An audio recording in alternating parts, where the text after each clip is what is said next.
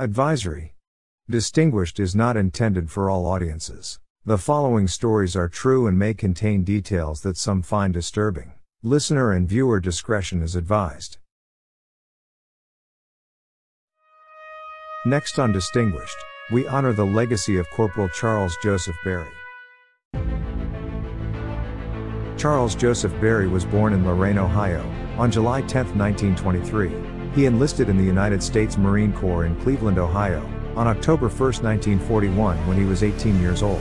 During World War II, he landed on Iwo Jima on D-Day, February 19, 1945. On March 3, 1945, Berry maintained a vigilant stance alongside his fellow gun crew during the perilous nighttime hours, remaining prepared at his weapon.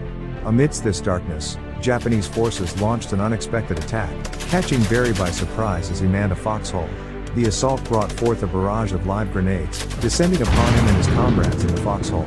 Undaunted, he exhibited remarkable courage, swiftly returning the grenades one after another. However, as one grenade landed beyond his reach, Berry faced a critical moment. In a display of unselfish determination and a commitment to his fellow soldiers, Berry made an instantaneous decision.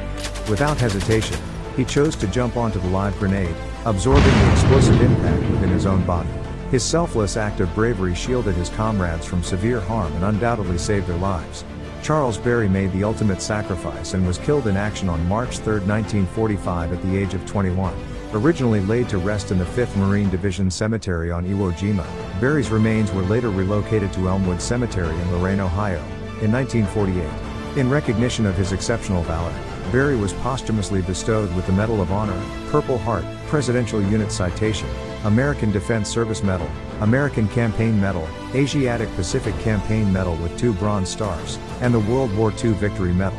In a lasting tribute, the Erie Avenue Bridge located in Lorain, Ohio, underwent a renaming in 1988 to become the Charles Berry Bridge, serving as a memorial to Corporal Berry's courage.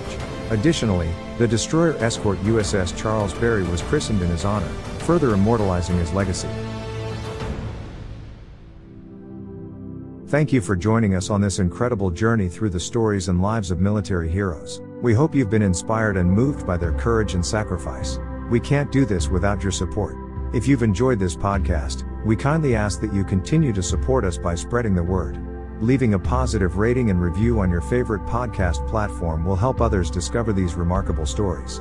Don't forget to like and share our episodes on social media. Your personal recommendation can make a significant impact. By sharing these stories, you play a vital role in honoring the bravery of our military heroes and ensuring their legacies live on. Together, let's continue to shine a light on the incredible men and women who have served and protected our nation.